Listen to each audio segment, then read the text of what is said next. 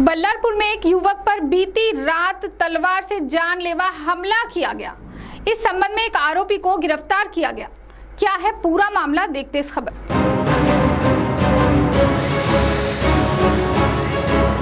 एक आपराधिक पृष्ठभूमि के युवक बोका दवंडेवार पर महाराणा प्रताप वार्ड में बीती रात तकरीबन साढ़े नौ से पौने दस बजे के आसपास कुछ आपराधिक छवि वालों ने उस पर जानलेवा हमला किया, जिसमें गंभीर रूप से जख्मी हुआ और जो जानकारी प्राप्त हुई है, हमलावरों ने उस पर तलवार से वार किया, परिसर के लोगों ने उसे अस्पताल में भर्ती किया।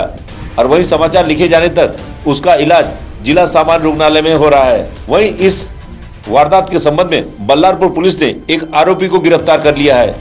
तो सुनिए इस संदर्भ में बल्लारपुर पुलिस स्टेशन के पुलिस निरीक्षक उमेश पाटिल ने मीडिया को क्या जानकारी दी? नौ पौने दस बजे करीब और महाराणा प्रताप वार्ड में मारा पीटी हो गई ऐसा उनको इनको इन्फॉर्मेशन आ गया। इन्फॉर्मेशन आने के बाद तुरंत वहाँ स्पॉट पे गए। स्पॉट पे गए तो, तो बोगा जो है हमारा बोगा दवंडेवार वो क्रिमिनल हमारा एक पर का निगरानी बदमाश। उसको मार दिया था तीन चार लोगों ने।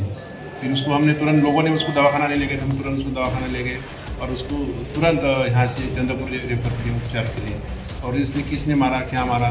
उसमें एक विनोद करके है उसको रात को अरे अरेस्ट किया। वो मारने वाले भी क्रिमिनल है और जख्मी भी क्रिमिनल है उसमें। उसमें अभी तक एक अरेस्ट आरोपी अरेस्ट हुआ है उसमें आज कोर्ट में लेके जाएँगे। बाद में पी लेके अगला इन्वेस्टिगेशन करेंगे पुलिस। चंद्रपुर पुलिस अगर अतिशीघ्र इन आपराधिक पृष्ठभूमि वाले लोगों पर नकेल नहीं कसती है तो आने वाले समय में कुछ और अनहोनी घटना सुनाई दे सकती है।